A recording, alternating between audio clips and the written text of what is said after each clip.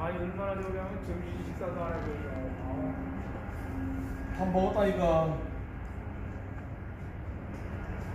저 정도 얼마 안 남는데 빨리빨리 해야 돼갖고